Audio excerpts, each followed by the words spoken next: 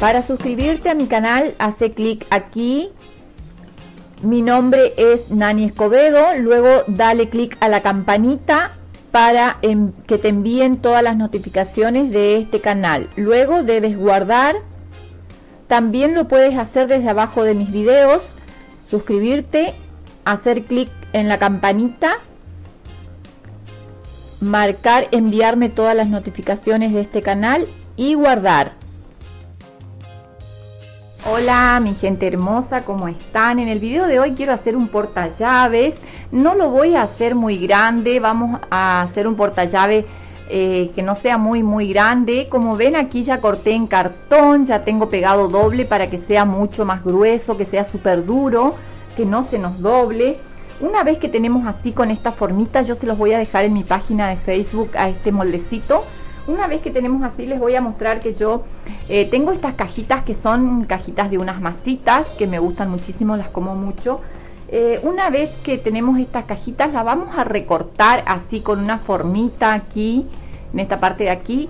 Le di como una formita, lo que va a ser la parte de adelante, porque este va a ser no solo un portallaves, sino también lo voy a poner de costado para que puedan ver mejor sino también para guardar todas las boletas de luz, de agua, las boletas que casi siempre nos vienen en casa. Una vez que tenemos así, le vamos a poner esta cajita aquí arriba porque vamos a hacer todo con materiales así. Vamos a empezar a hacer nuestro trabajo con materiales reciclados.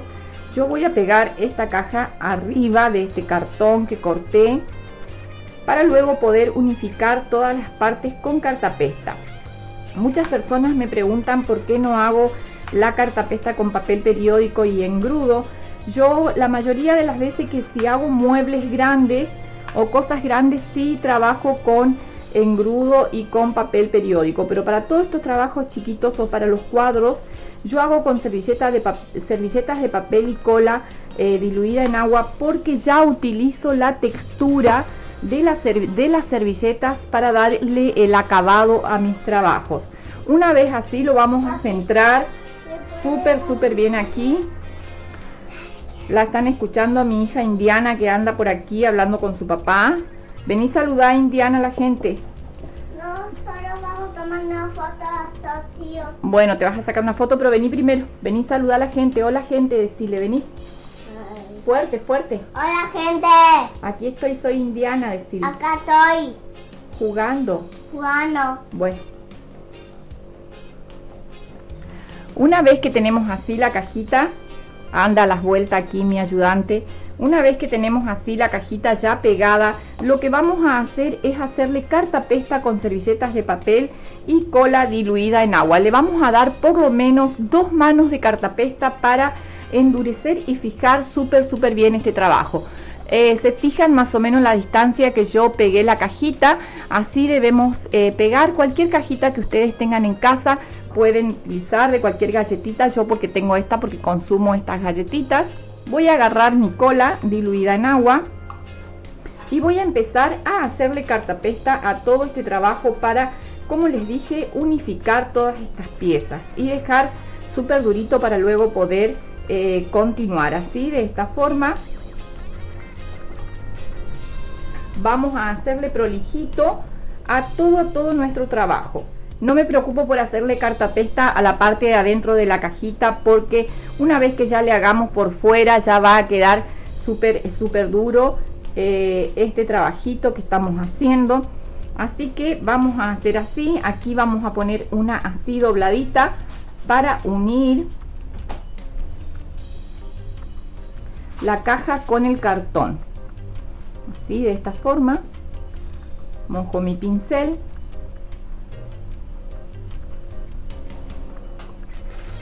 Así le vamos a hacer completamente a todo de los dos lados.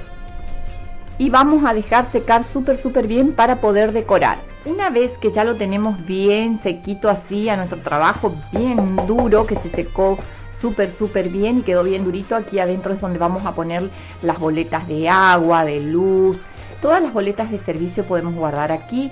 Una vez que tenemos así de los dos lados, bien sequito, bien duro, yo le voy a poner un aerosol negro porque ya le va a dar brillo, le va a dar protección y eh, luego lo voy a pintar de otro color. y lo voy a decorar. Pero eh, primero le voy a poner este aerosol en color negro, debo batir un poquito más. Eh, ustedes, como les digo, siempre no hace falta que le pongan la misma pintura que le pongo yo o el mismo color. Ustedes pueden hacer de distintos colores este trabajo. Así, una vez así, voy a pintar completamente todo en color negro. Como se dan cuenta, son pinturas al aceite, le estuvo saliendo como un poquito de barniz que es como un aceite que trae, que es el barniz que trae la pintura, por eso hay que mezclar muy bien. Eh, por eso es que yo pinto casi siempre, la mayoría de las veces, con aerosol, porque ya le da eh, muchísima protección a estos trabajos. Así vamos a pintar todo para luego poder continuar con su decoración de esta forma. Yo pinto un poquitito aquí, luego lo voy a terminar de pintar completamente todo afuera y se los voy a mostrar cuando esté bien sequito para poder continuar. Bueno, una vez que tenemos nuestro portallave y nuestras, eh, nuestro portaboletas así bien negrito, vamos a empezar a hacerle sus decoraciones. Esto en realidad va así paradito, pero yo lo voy a poner de costado para poder mostrarles, porque de lo contrario es un poquito grande y no entra en mi espacio. Eh, una vez que lo tenemos así, eh, yo tengo aquí porcelana fría pintada en color negro. Lo que voy a hacer es ponerle todos unos bordes en porcelana fría, tanto en la parte de aquí, todos estos bordes, como los bordecitos en esta parte de aquí que es la cajita. Voy a agarrar cola, yo uso siempre cola blanca, esta de carpinteros. Voy a agarrar cola y voy a empezar a pegar con cola como les digo, siempre no me preocupo por la cola porque después al secar el trabajo queda transparente. Le voy a poner así con un pincel la cola, pura para que no se despegue la porcelana, debe ser pura, no está diluida. ¿Qué mi amor? Si gente que no está enfermo. Bueno. Y la también. Bueno. Mira. Bueno, bueno. Y el no se llama Numo, Numo. Indiana quiere que les cuente que tiene su gatito enfermo, pero ya lo llevamos al veterinario. Sí, que tiene dos gatitos. Fuerte habla, entonces la gente te escucha. Mira, Numo. Mira, Numo. así de esta forma le voy a poner toda la vuelta un rollito en porcelana fría que luego lo voy a aplastar un poquitito con mis dedos lo voy a aplastar de esta forma así tengo mi ayudante que, que está aquí al lado mío como la están escuchando como siempre parece que hoy no tiene ganas de mirar sus dibujitos ni jugar con sus muñecas ¿Qué mi amor? mi muñeca se llama Orgulloso y la otra se llama Mía y la otra es Pepa. Bueno. Así, así lo le vamos a ir poniendo toda la vuelta a este portallaves. Toda, toda la vuelta aquí y también toda la vuelta aquí. Yo se los voy a mostrar cuando esté un poquito más avanzado. Pero primero les voy a mostrar que yo tengo que me hice con una chapita con una chapita me hice esta formita, le, di una vueltita para aquí, otra para este lado. Y con esta chapita yo le voy a hacer como eh, unas marquitas aquí arriba, que esto cuando lo pintemos se va a notar muy bien. Ustedes pueden hacerle con cualquier cosita que ustedes tengan en casa, así. Porque necesito que esta, este, esto que le estoy haciendo, estos motivos, después eh, cuando lo pinte que se noten. Así voy a ir presionando. Una vez que ya le pusimos una vez que ya le pusimos todos los bordecitos así vamos a dejarlo un ratito de lado. Les voy a mostrar que voy a hacer lo que es los ganchitos. Para no tener que comprar los ganchitos los vamos a hacer en porcelana fría. Voy a agarrar una pelotita así de porcelana fría. Voy a empezar a levantar aquí un poquitito así de esta forma para hacer como el ganchito para las llaves. Así vamos a levantar, aplastamos aquí.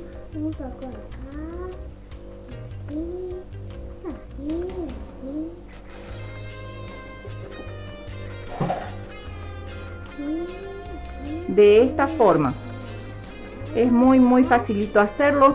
Ahora lo que yo voy a hacer es tratar de dejarlo como cuadradito. Esto es para enganchar las llaves así. Ahora voy a agarrar eh, solo me voy a ayudar con una regla para dejarlo como cuadradito de esta forma. Vamos a ir estirando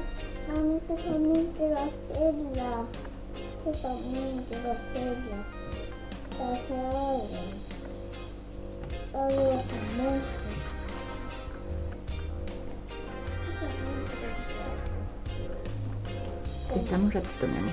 Ah, estaba justo pensando. Y así de esta forma quiero que me quede en cuadradito. Vamos a emprolijarlo bien. Luego lo que vamos a hacer es con la tapita de la lapicera, con la tapita de la lapicera, vamos a hacerle como unos agujeritos aquí a los costados, simplemente para darle otra textura. Y estos van a ser los ganchitos de nuestro, nuestro porta llave para eh, poder enganchar estas llaves así. Les voy a mostrar uno que ya tengo sequito. Aquí ya tengo uno sequito y durito. Así debe quedar de esta forma una vez así les voy a mostrar que también tengo aquí unas rosas estas yo ya las enseñé a hacer en un cuadro que hice con rosas en color rosado Así que por eso, para no tardarme tanto en el video, en este video yo no las voy a mostrar de nuevo porque ya las hice en este cuadro eh, que hicimos. Voy a pegar las florcitas aquí, la rosa aquí. Eh, tengo otras más chiquititas que también enseñé en otros videos. Las voy a poner por aquí, así de esta forma, para ir decorando este portallaves. También los ganchitos que le hicimos en porcelana fría, que yo ya tengo seco, lo vamos a poner aquí abajo. Voy a poner todo y voy a dejar que se seque este trabajo. Voy a pegar las rosas y los ganchitos aquí. Así a ver si se logra ver los ganchitos aquí abajo. Le voy a poner tres ganchitos. Una vez que ya lo tenemos así bien bien sequito eh, pueden usar ustedes acrílicos y ponerle cualquier color yo en este caso después de haberlo pintado en color negro voy a usar un color eh, eh, cobre en este caso le voy a poner un color cobre. En purpurina ustedes lo pueden hacer también con acrílicos, como les digo siempre. No hace falta que tengan esta purpurina. Yo voy a agarrar así un poquito y voy a empezar a ponerle en lo que es todas estas florcitas de aquí. Y también le voy a poner a toda la otra parte así de esta forma. voy a ir poniendo este color cobre. También lo voy a mezclar tal vez un poquitito con un color eh, oro para que realce un poco más este trabajo. Así, en estas partes no puedo entrar casi con el dedo, por eso le pongo con pincel de esta forma.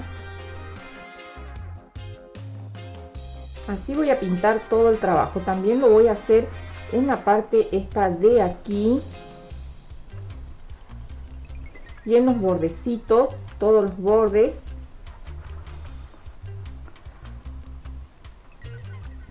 voy a levantar un poquitito para que ustedes puedan ver todos los bordes las marquitas que le hicimos. Vamos a pintar con este color. También la parte del fondo. También voy a agarrar un poquitito de oro para realzarlo un poquitito más. Y le voy a poner un poquito entre este cobre. Todas las puntitas así. Voy a hacer una mezcla del oro y el cobre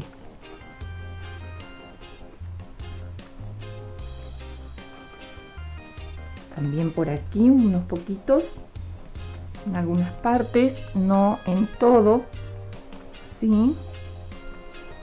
y así de esta forma voy a pintar completamente todo mi porta llaves y luego voy a ponerle aquí en la parte esta de aquí que le hicimos como una piedra le voy a poner siliconas caliente y lo voy a pintar yo se los voy a mostrar cuando esté un poquitito más avanzado para que vean lo lindo que queda este trabajo así de esta forma le vamos a ir poniendo vamos a ir haciendo una mezcla entre cobre y oro a todo, todo, todo este trabajo. Le voy a poner aquí un poquito más. Y así de esta forma va a quedar mi portallaves. Yo en la parte de aquí donde le puse las siliconas calientes le pinté con un acrílico en color eh, cobre. Eh, una vez que seque le voy a dar otra mano porque descargué un poquitito en un papel y eh, le estoy pintando lo que es la piedrita. Así de esta forma entonces queda nuestro portallaves. Ustedes pueden pintar del color que ustedes quieran. Aquí es donde colgamos las llaves, que lo hicimos nosotros mismos a los ganchitos. Así. Y una vez que tenemos así, ya podemos poner también aquí adentro todo lo que son las boletas de luz, de agua, de cable, de teléfono. Todas las boletas que tenemos en casa para pagar también podemos poner aquí adentro eh, porque tiene un, espacio bastante amplio. Ustedes, como les dije, pueden hacer del tamaño que ustedes quieran. En la parte de atrás solo le ponemos un ganchito para poder colgarlo y ya está.